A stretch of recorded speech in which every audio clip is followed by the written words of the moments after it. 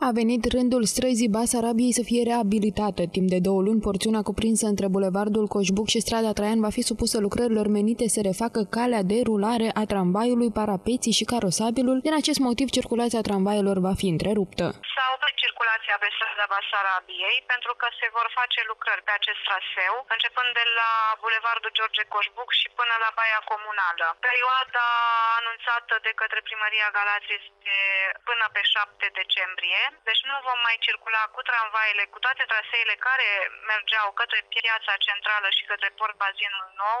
Societatea de transport în comun pune la dispoziția celor care circulau cu tramvaiele pe strada Basarabiei autobuze ce vor merge pe același traseu. Înlocuim doar traseul Bonjour, 7 către piața centrală cu autobuz și traseul 8 care merge către Agrogaz se va face în continuare cu autobuzul. Diagrama de circulație, programul orar de circulație la traseul 8 se va îmbunătăți, va circula dus întors, fără opriri la capete de linie, așa cum era până acum, pentru a putea să uh, acoperi fluxul de călători uh, din această zonă. În plus, gălățenii nu vor avea neplăceri din cauza lucrărilor, căci Transurb are suficiente mașini pentru traseele închise momentan. Probleme pentru călătorii care merg către piața centrală nu sunt probleme momentan pentru că avem autobuzul 11 care vine din micro 40, avem traseul 22 care vine din micro 40 către gară, 7 care înlocuiește tramvaiul 7 care va merge către piața centrală. Lucrările de pe Basarabie impun restricții de circulație ce se vor aplica pe tot parcursul lunilor octombrie și noiembrie.